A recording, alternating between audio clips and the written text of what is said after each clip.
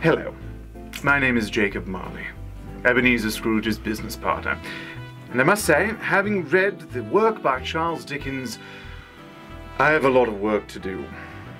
I um, like to make some changes in my life, and um, that's what I'm gonna do. So, um, bye.